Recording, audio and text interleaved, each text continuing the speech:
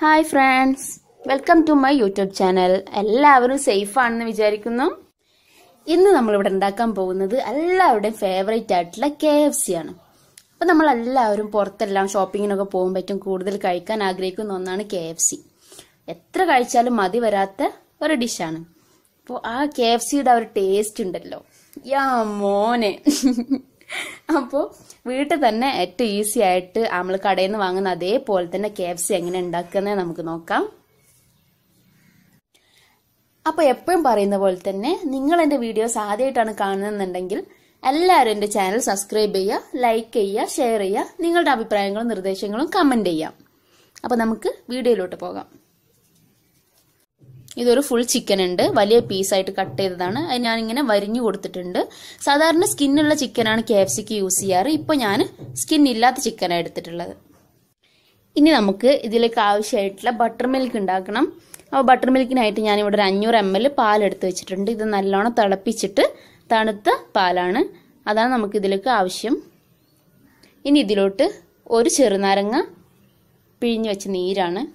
വലിയ ചെറുനാരങ്ങയാണ്. ഇനി നല്ലോണം ഇളക്കി കൊടുക്കുമ്പോൾ പാൽ നല്ലോണം പിരിഞ്ഞു വരും. ഇനി ഇതിലോട്ട് നമുക്ക് ആവശ്യത്തിനുള്ള ഉപ്പ് ആഡ് ചെയ്ത് കൊടുക്കണം. ഇപ്പം ഞാനൊരു ഒന്നര ടീസ്പൂൺ ഉപ്പാണ് ആഡ് ചെയ്യുന്നത്. ഇനി നമ്മൾ നെക്സ്റ്റ് മസാല ആഡ് ചെയ്യുമ്പോൾ മസാല ഉണ്ടാക്കുമ്പോൾ അതിലോട്ടും ഉപ്പ് ആഡ് ചെയ്യും. അതുകൊണ്ട് ഒന്നര ടീസ്പൂൺ ഇപ്പം ആഡ് ചെയ്താൽ മതി. ഇനി നല്ലോണം ഇളക്കാം. ഇപ്പം ഏകദേശം അഞ്ച് മിനിറ്റായി പാലൊക്കെ നല്ലോണം പിരിഞ്ഞ് വന്നിട്ടുണ്ട്.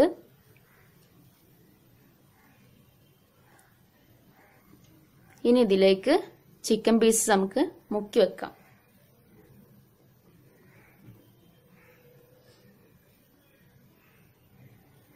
ഒന്ന് തിരിച്ചു മറിച്ചൊക്കെ ഒന്ന് ഇട്ട് കൊടുക്കുക. എല്ലായിടത്തും ആവുന്ന രീതിയിൽ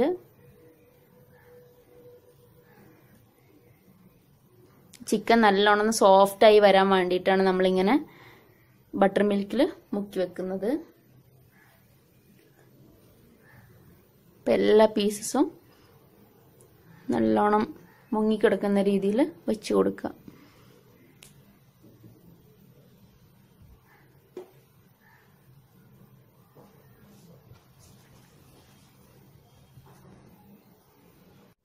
ഇനി ഇത് ഏകദേശം ഒരു ഒരു മണിക്കൂർ അല്ലെങ്കിൽ ഒരു ഒന്നര മണിക്കൂർ മാരിനേറ്റ് ചെയ്യാൻ വേണ്ടിയിട്ട് വെക്കണം. ഒരു ഒരു മണിക്കൂർ അടച്ചു വെക്കാം. ഇപ്പം ഏകദേശം ഒരു മണിക്കൂർ കഴിഞ്ഞിട്ടുണ്ട്. ഇനി ചിക്കൻ പീസസ് എല്ലാം നമുക്ക് വേറൊരു പ്ലേറ്റിലേക്ക് മാറ്റി വെക്കണം. അപ്പോൾ എടുക്കുന്നതിന് മുമ്പായിട്ട് നല്ലോണം മിക്സ് ചെയ്തിട്ട് വേണം എടുക്കാൻ ബട്ടർ മിൽക്കിന് താഴെ ചിലപ്പോൾ ഊറി നിൽക്കാനുള്ള ചാൻസ് ഉണ്ട്. അതുകൊണ്ടാണ് നല്ലോണം മിക്സ് ചെയ്തെടുക്കാൻ പറഞ്ഞത്. ഇനി ഇങ്ങനെ ഓരോ പീസും നമുക്ക് എടുത്തിട്ട് മാറ്റി പ്ലേറ്റിലോട്ട് വെച്ച് കൊടുക്കാം. ചിക്കൻ എടുക്കുമ്പോൾ ഓരോ പീസും നല്ലോണം പിഴിഞ്ഞിട്ട് വേണം എടുക്കാൻ ബട്ടർ മിൽക്ക് ഒന്നും ചിക്കനിൽ അങ്ങനെ ഉണ്ടാവാൻ പാടില്ല. കാരണം നമുക്ക് അടുത്തതായിട്ട് ഇതിൽ മസാല തേക്കാനുള്ളതാണ്. അപ്പോൾ കൂടുതൽ വെള്ളം ആയിപ്പോവും. അതുകൊണ്ട് തന്നെ നല്ലോണം പിഴിഞ്ഞെടുക്കുക. ഈ ബട്ടർ മിൽക്കിന് പകരം തൈരല്ല യൂസ് ചെയ്യുന്നവരുണ്ട്. പക്ഷെ തൈര് യൂസ് ചെയ്യുന്നതിനേക്കാളും ബെറ്റർ ബട്ടർ മിൽക്കാണ് കാരണം തൈര് യൂസ് ചെയ്യുമ്പോൾ ടേസ്റ്റിന് ചില ഡിഫറെന്റ് വരും.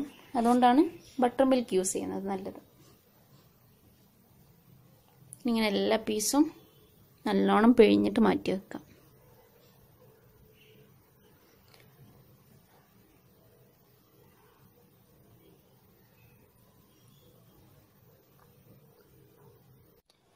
നമ്മുടെ ചിക്കൻ എല്ലാം ഞാനിപ്പോൾ ബട്ടർ മിൽക്കിൽ നിന്നും മാറ്റി വെച്ചിട്ടുണ്ട്.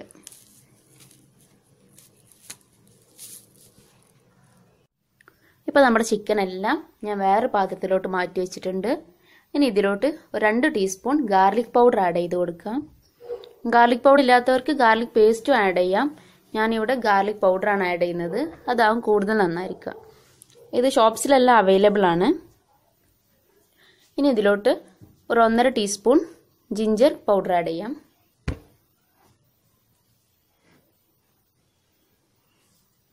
കൂടുതലായി പോകരുത് ഒരു ടീസ്പൂൺ അല്ലെങ്കിൽ ഒരു ഒന്നര ടീസ്പൂൺ കൂടുതലായാൽ അതിന്റെ ഒരു ടേസ്റ്റ് നല്ലോണം ഉണ്ടാവും. അപ്പോൾ അത് ശ്രദ്ധിക്കുക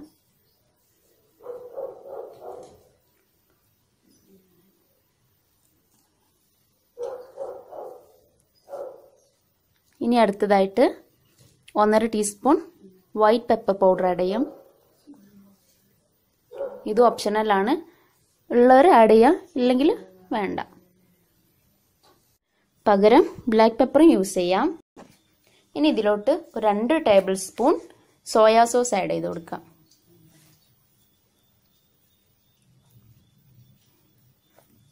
അടുത്തതായിട്ട് ഒരു മൂന്ന് tablespoon red chilli sauce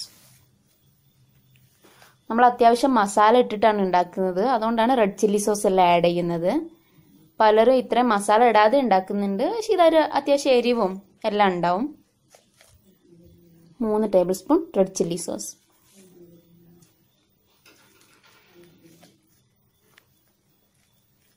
ഇനി ബാർബിക്യൂ സോസാണ്. ഇതും ഒരു മൂന്ന് ടേബിൾ സ്പൂൺ വേണം.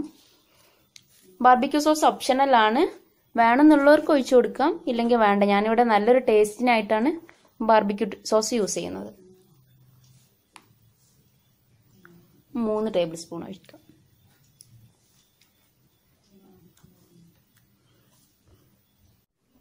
ഇനി ഇതിലേക്ക് ഒരു വൺ ടേബിൾ സ്പൂൺ ഉപ്പിട്ട് കൊടുക്കാം. നമ്മൾ നേരത്തെ ഉപ്പ് ആഡ് ചെയ്തതാണ്. അതുകൊണ്ട് ഇപ്പോൾ വൺ ടേബിൾ സ്പൂൺ ഇട്ടാൽ മതി. ഇനി ആവശ്യത്തിന് നോക്കിയിട്ട് വേണം വീണ്ടും ചേർത്ത് കൊടുക്കാം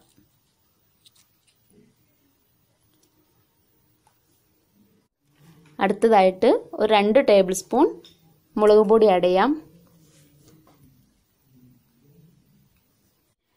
ഒരു അര ടീസ്പൂൺ ചെറിയ ജീരകം ചതച്ച കൂടെ ആഡ് ചെയ്യാം. ചെറിയ ജീരകം അധികം പാടില്ല. അതിന്റെ ടേസ്റ്റ് നല്ലോണം വരും. അപ്പോൾ ഒരു ഹാഫ് ടേബിൾ സ്പൂൺ മതി. ഒരു രണ്ട് ടീസ്പൂൺ വിനെഗർ.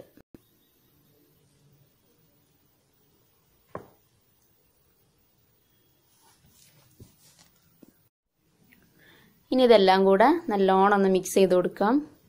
ഞാൻ ഇടയ്ക്കൊന്ന് മറിച്ചിട്ടു കേട്ടോ അതാണ് മസാല ഒന്ന് മേലെ കാണത്ത്.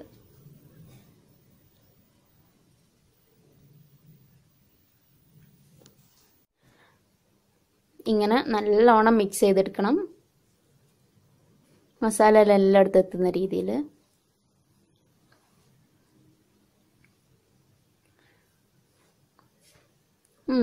ആവശ്യത്തിന് ഉപ്പൊക്കെ ഉണ്ട് കേട്ടോ ഇനി ആഡ് ചെയ്യേണ്ട ആവശ്യമില്ല. ഇനി ഇതൊരു വ്രാപ്പർ ഉപയോഗിച്ചിട്ട് നല്ലോണം കവർ ചെയ്ത് കൊടുക്കാം. വ്രാപ്പർ ഇല്ലാത്തവർക്ക് വല്ല അടപ്പ് വെച്ചിട്ട് അടച്ചു വെച്ചാലും മതി. ഇപ്പം ഇത് ഞാൻ നല്ലോണം ഒന്ന് കവർ ചെയ്തെടുത്തിട്ടുണ്ട്. ഇനി ഇതൊരു മൂന്ന് മണിക്കൂർ നമുക്ക് ഫ്രിഡ്ജിൽ വെക്കാം. മാരിനേറ്റ് ചെയ്യാൻ വേണ്ടിയിട്ട്. അടുത്തതായിട്ട് ഞാനിവിടെ ഒരു ബൗൾ എടുത്തിട്ടുണ്ട്. നമുക്ക് കോട്ടിങ്ങിന് ആവശ്യമായിട്ടുള്ള മൈദ. ഒരു രണ്ടര കപ്പ് അല്ലെങ്കിൽ ഒരു മൂന്ന് കപ്പ് മൈദ എടുക്കണം.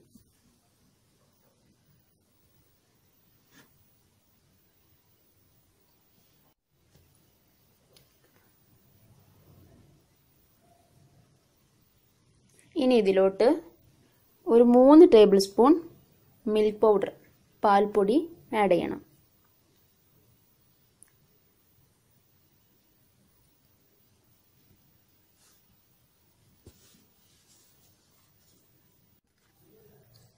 ഇനി ഇതിലേക്ക് ഒരു വൺ ടേബിൾ സ്പൂൺ മുളക് പൊടി. അതുകൂടെ ആഡ് ചെയ്ത് കൊടുക്കാം.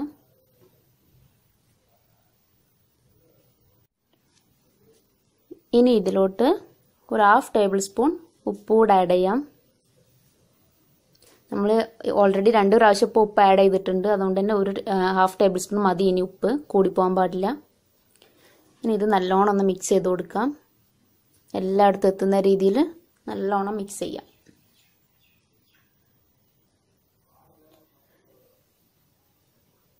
എന്നിട്ട് നമുക്ക് കുറച്ചു നേരം മാറ്റി വെക്കാം.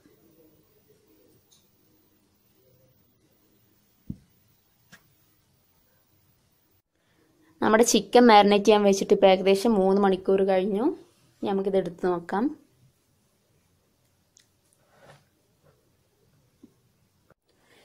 ഇനി ഈ ചിക്കൻ ഒന്ന് നല്ലോണം മിക്സ് ചെയ്ത് കൊടുക്കാം. നമ്മൾ ഫ്രിഡ്ജിൽ വെച്ചല്ലേ കുറച്ച് ടൈം നല്ലോണം മിക്സ് ചെയ്യാം. ഇനി ഈ ചിക്കൻ നമ്മൾ നേരത്തെ തയ്യാറാക്കി വെച്ച മിക്സ്ചറിൽ വെച്ചിട്ട് നല്ലോണം കോട്ട് ചെയ്തെടുക്കാം. ചിക്കനിലധികം കൈ പറ്റാത്ത രീതിയിൽ പൊടി തന്നെ ഇട്ടിട്ട് നല്ലോണം മിക്സ് ചെയ്യാം. ഏകദേശം ഒരു ഒരു മിനിറ്റ് വരേക്കും ഇങ്ങനെ പൊടിയിലിട്ടിട്ട് ഇങ്ങനെ കറക്കി കറക്കി എടുക്കാം.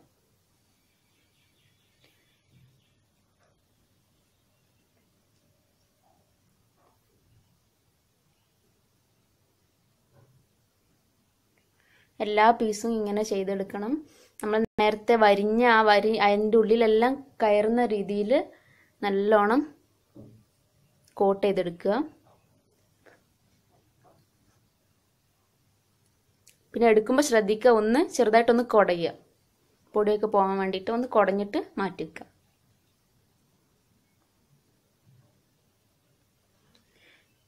ഇനി ഇങ്ങനെ എല്ലാ പീസും ഇങ്ങനെ നല്ലോണം കോട്ട് ചെയ്യാം. ഇത് ഫസ്റ്റ് കോട്ടിംഗ് ആണ്. ഇനി നമുക്ക് സെക്കൻഡ് കോട്ടിംഗ് കൂടെ വരാനുണ്ട്. അതുകൊണ്ട് തന്നെ നല്ലോണം ഒന്ന് കുടഞ്ഞെടുക്കുക.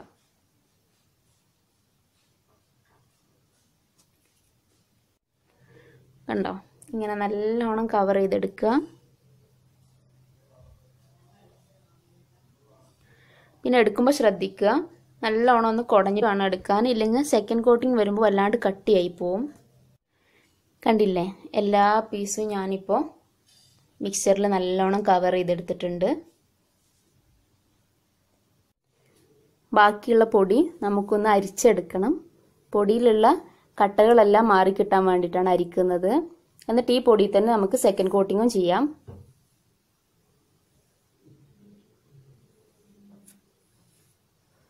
അപ്പോൾ നന്നായിട്ടൊന്ന് അരിച്ചെടുക്കുക കണ്ടില്ലേ? നല്ലോണം അരിച്ചിട്ടുണ്ട്. ഇത്രയും കട്ടപ്പ് അതിൽ നിന്ന് കിട്ടിയതാണ്. ഇനി നമുക്ക് അത് മാറ്റി വെക്കാം. അടുത്തതായിട്ട് ഞാനൊരു പാൻ വെച്ചിട്ടുണ്ട്. നല്ല അടി കട്ടിയുള്ള പാനാണ് നമുക്ക് കത്തിച്ചു കൊടുക്കാം. അപ്പോൾ നമ്മുടെ ചട്ടി ചൂടായി. ഇനി അതിലോട്ട് ആവശ്യത്തിനുള്ള ഓയിൽ ഒഴിച്ചു കൊടുക്കണം. വെളിച്ചെണ്ണ അല്ല ഞാനിവിടെ സൺഫ്ലവർ ഓയിലാണ് എടുത്തിട്ടുള്ളത്. അപ്പോൾ ചിക്കൻ മുങ്ങിക്കെടുക്കുന്ന രീതിയിൽ ആവശ്യത്തിനുള്ള ഓയിൽ എടുക്കാം.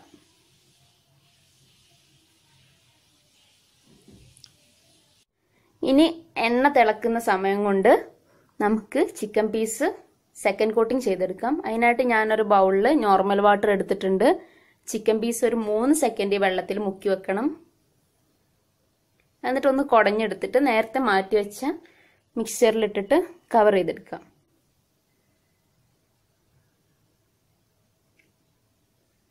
നേരത്തെ ചെയ്ത പോലെ തന്നെ നല്ലോണം ഒന്ന് കവർ ചെയ്തെടുക്കുക. എല്ലായിടത്തും എത്തുന്ന രീതിയിൽ തിരിച്ചു മറിച്ചിട്ട് കവർ ചെയ്യാം.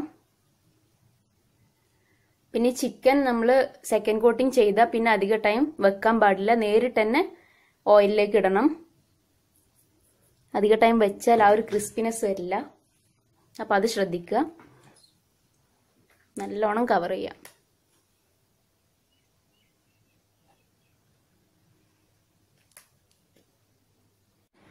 ഇനി ഇത് നല്ലോണം ഒന്ന് കുടഞ്ഞു കൊടുക്കാം കേട്ടോ നമ്മൾ കുടയുന്നതിനനുസരിച്ചാണ് ഈ ചിക്കനിൽ ലെയർ ലെയറായിട്ട് വരിക.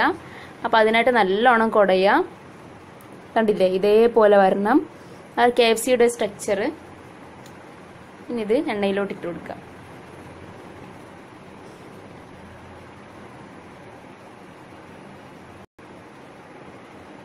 ഇനി എല്ലാ പീസസും ഇതേപോലെ വെള്ളത്തിലിട്ടിട്ട് പൊടിയിൽ കവർ ചെയ്ത് നമുക്ക് എണ്ണയിലോട്ട് ഇട്ട് കൊടുക്കാം. വെള്ളത്തിന് പകരം എഗ്ഗ് യൂസ് ചെയ്യുന്നവരുണ്ട്. പക്ഷെ കൂടുതൽ നന്നായി തോന്നിയിട്ടുള്ളത് വെള്ളം യൂസ് ചെയ്ത് ചെയ്യുമ്പോഴാണ്. ഞാനും എഗ്ഗ് യൂസ് ചെയ്ത് ചെയ്ത് നോക്കി. പക്ഷെ അതിനൊക്കെ നന്നായത് വെള്ളം യൂസ് ചെയ്ത് ചെയ്യുമ്പോഴാണ്.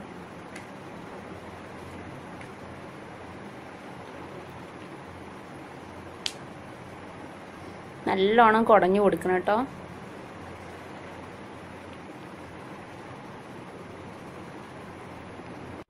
ഇതേപോലെ നല്ലോണം കുടയാ കണ്ടില്ലേ? നല്ലോണം കുടഞ്ഞിട്ടുണ്ട്. ഇനി തിരിച്ചു പിടിച്ച് നല്ലോണം ഒന്ന് കുടഞ്ഞു കൊടുക്കുക. ഇതേപോലെ വരണം കേട്ടോ. പിന്നെ എപ്പോഴും ഒരു കാര്യം ശ്രദ്ധിക്കുക. എണ്ണ നല്ലോണം ചൂടായതിന് ശേഷം മാത്രമേ ചിക്കൻ ഇട്ട് കൊടുക്കാവൂ. ഇല്ലെങ്കിൽ ആ ചിക്കന് മേലെയുള്ള കോട്ടിംഗ് ഒക്കെ കുഴഞ്ഞു പോവും. അപ്പോൾ അതൊന്ന് ശ്രദ്ധിക്കുക.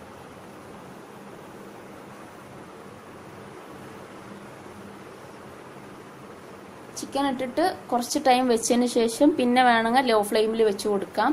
ഇല്ലെങ്കിൽ ചിക്കൻ പെട്ടെന്ന് കരിഞ്ഞു പോകും ഉള്ളൊന്നും വേവില്ല. അതിന് മുമ്പ് തന്നെ മേലുള്ള കോട്ടിംഗ് ഒക്കെ കരിഞ്ഞു പോകും അപ്പോൾ കുറച്ച് ടൈം ഒന്ന് ഹൈ ഫ്ലെയിമിൽ ഇട്ടിട്ട് പിന്നെ ലോ ഫ്ലെയിമിക്ക് മാറ്റി കൊടുക്കാം. ഈ പൊടി വേണമെങ്കിൽ ഒന്നും കൂടെ അരിച്ചെടുക്കാം. അപ്പോൾ ഈസി ആയിട്ട് തന്നെ കവർ ചെയ്തെടുക്കാം. ആ ഉള്ളിലുള്ള കട്ടകളൊക്കെ മാറ്റിയിട്ട് ഈസി ആയിട്ട് കവർ ചെയ്തെടുക്കാം. കണ്ടില്ലേ? നല്ല ലെയറായി വന്നിട്ടുണ്ട്.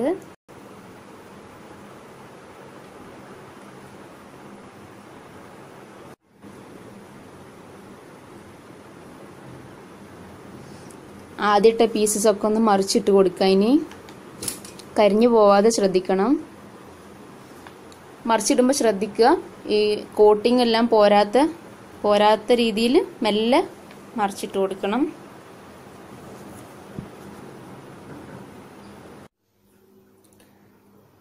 ഇപ്പം എല്ലാ പീസസും ഞാൻ മറിച്ചിട്ടിട്ടുണ്ട്.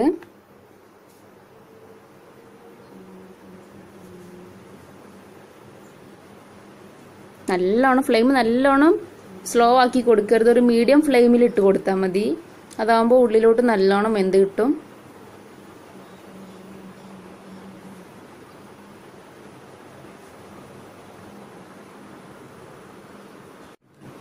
അപ്പം നമ്മുടെ കെ എഫ് സി റെഡി ആയിട്ടുണ്ട്. ഇനി നമുക്ക് എണ്ണയിൽ നിന്ന് മാറ്റി കൊടുക്കാം.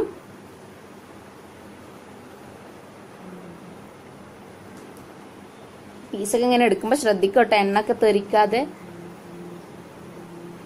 കണ്ടില്ലേ നല്ല ക്രിസ്പി ആയി വന്നിട്ടുണ്ട്. എണ്ണൊക്കെ ഒന്ന് പോകുന്നത് വരെ ഇങ്ങനെ പിടിച്ചേക്കാം. ഇനി ഇതൊരു പ്ലേറ്റിലോട്ട് മാറ്റി കൊടുക്കാം. ഞാൻ രണ്ട് ടിഷ്യൂ ഒക്കെ വെച്ചിട്ടുണ്ട്. ആ ബാലൻസ് ഉള്ള ഓയിലൊന്ന് വാർന്ന് കിട്ടാൻ വേണ്ടിയിട്ടാണ് കണ്ടില്ലേ നല്ല ക്രിസ്പി ആയിട്ട് നമ്മൾ ഷോപ്പിൽ നിന്ന് വാങ്ങുന്ന അതേപോലെ ഉണ്ട് എന്റെ വീഡിയോ ഇഷ്ടമായെങ്കിൽ എല്ലാവരും ട്രൈ ചെയ്ത് നോക്കുക. നിങ്ങളുടെ അഭിപ്രായങ്ങൾ കമന്റ് ചെയ്യുക താങ്ക്